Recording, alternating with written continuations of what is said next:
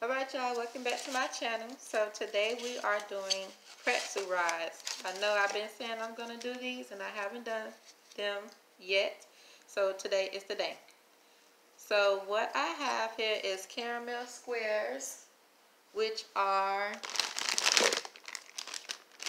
these. You can purchase these at Walmart.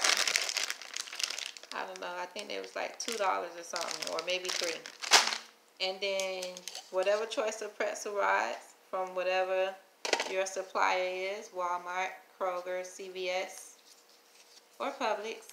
I think Dollar Tree is selling these rods now. so what you want to do is take two squares out of your bag, which I already have here in my hand, and then you just want to start smushing them together.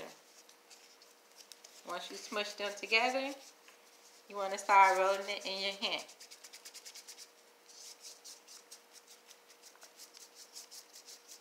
Once it gets long enough, you're going to start rolling on your surface.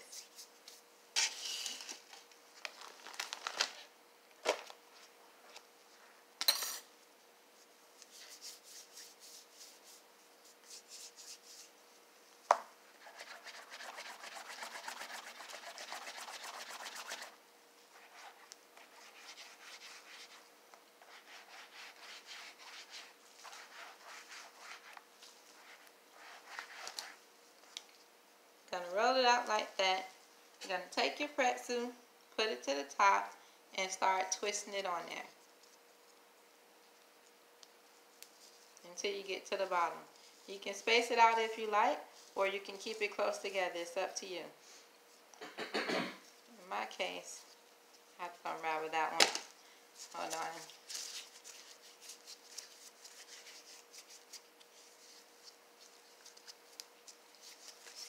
Again.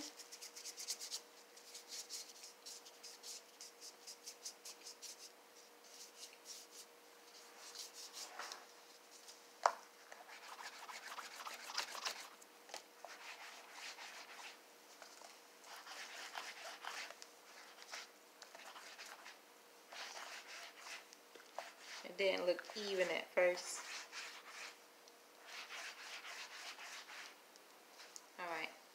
That's good enough. This is what you want. You don't want it to be so chunky and thick.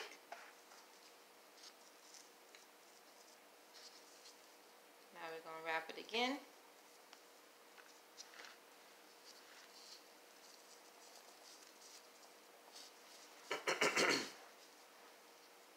and there you have it. Now I'm using Merkins in this video, white chocolate, bright white Merkin chocolate. Um, you can purchase this on Amazon for $6 and some change or so. I'll put the link down in the description box for you all.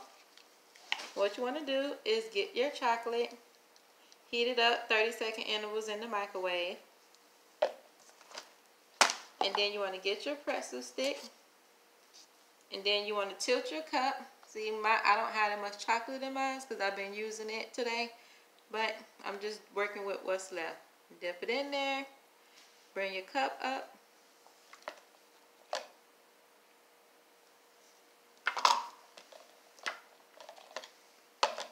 And start twisting it. you want to cover your caramel.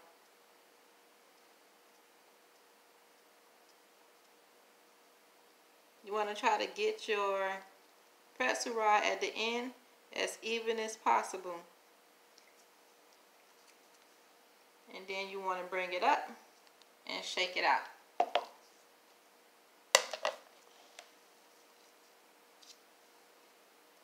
Get all the excess chocolate off.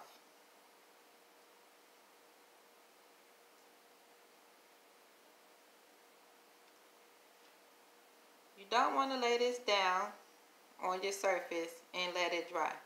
What we're going to do tonight is place this on some racks. And we're going to place it in the refrigerator. And I'm going to show you how to do that.